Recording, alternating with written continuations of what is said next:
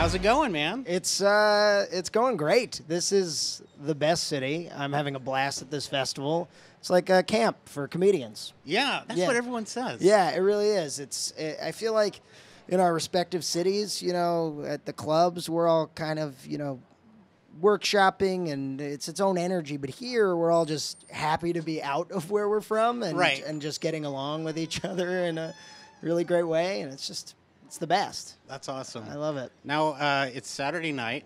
What would you be doing if you were on SNL right now? Tell me, walk me through it. You'd be Uh, doing rehearsal or Um, yeah, I, I think. Uh, what time? What time is it right now?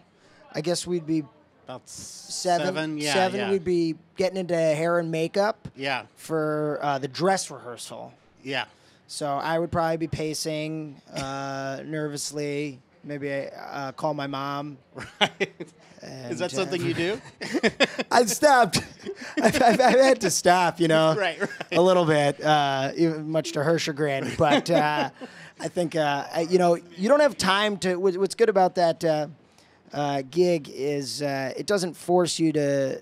It does, you don't have enough time to really think too much Right. or, or be too nervous because Right. it could be like, hey, we need you to do a Russian accent. Uh, figure it out. You got this amount of time. How do you develop an impression?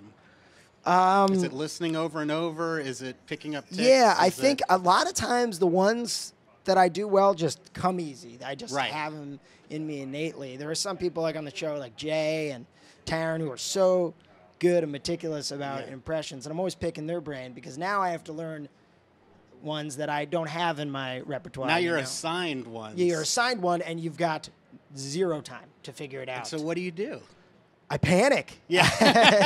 uh, I figure it out. I just I Yeah. click uh, on YouTube videos and I watch and I try to get something down. But um, a buddy of mine, uh, this guy Jonathan Kite, uh, kind of gave me advice. One, I was auditioning and I was trying to come up with a Bernie Sanders impression. These impressions I didn't have. Uh, he said if you give them context, then they'll come to you easier. If you just try to, you know, if you just try to pronunciate sounds, it doesn't come as easy. And I found that that's true actually. So with Bernie Sanders, I did uh, just him. Um, him doing an ad for KFC, and suddenly I had him, you know, a little bit, you know, a version of him, a ridiculous version. But I was like, for a limited time, we're offering you the Bernie bucket. Comes with a single drumstick that is to be equally divided and distributed amongst you and your family, you know. And then uh, it just kind of came to me once I once I had the premise in my head, which I think kind of worked for me, as opposed to just trying to say what he would say.